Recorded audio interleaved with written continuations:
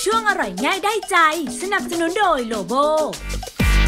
ช่วงอร่อยง่ายได้ใจ วันนี้เราขอเสนอเมนู ชิคเก้นโคน มาเริ่มทำกันเลยค่ะ